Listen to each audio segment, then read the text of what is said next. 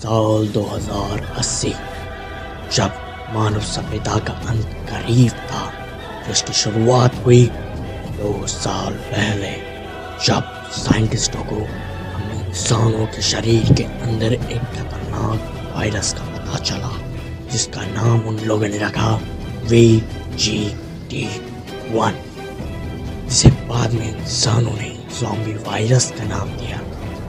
इस वायरस की वजह से लोगों ने अपनी जान गंवाई। और जो बचे, वो लोग या तो चुप कर रहे, या फिर उन लोगों ने अपने घरों को बड़ी बड़ी दीवारों से ढका और उन बचे हुए लोगों में से एक हमारा हीरो भी था। उसका नाम है नैनो। यह जानने के लिए कि उसके साथ क्या होगा, देखिए उसके पॉइंट ऑफ़ व्यू से।